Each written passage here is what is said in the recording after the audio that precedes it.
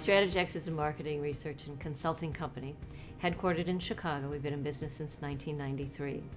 One of our primary practices is voice of the customer. Baird uses Strategex to get insight into the customer and insight into the strengths and differentiators of either the product, the service.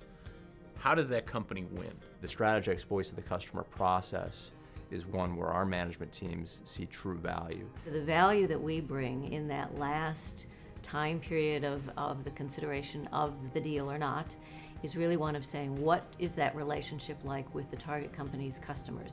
Are they secure? Are they stable? Do they want to grow? Do they see the company as a partner? Do they see the company as just a commodity supplier? What is in it for the customer through their eyes in how to make that company better so they can, again, achieve a stronger relationship with them? What often happens is, is that after deal is completed, relationships can go sour customers are lost. But up until recently, it's been highly overlooked. And so we've come along with a process which tries to address that gap, and with good success.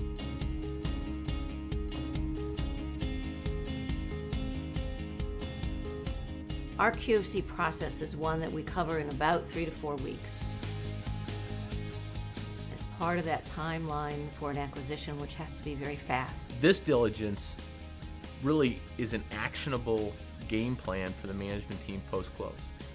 And it provides them media information that they could respond to and probably wouldn't get from their customer on their own. It's really a, a deep dive into what's driving the customer decisions, which gives us a really good insight into what's driving the company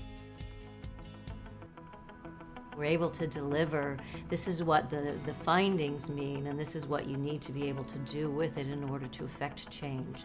In essence, a QFC is the start of a change management program. You begin seeing results in probably seven to nine days.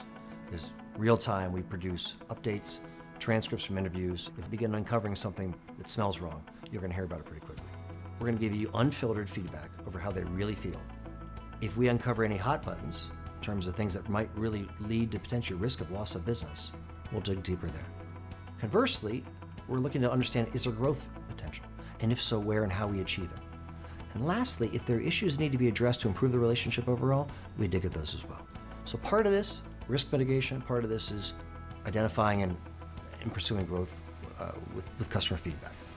The strongest endorsement we can have is when a company tells us, the acquired company tells us, that they got an awful lot out of the discovery work.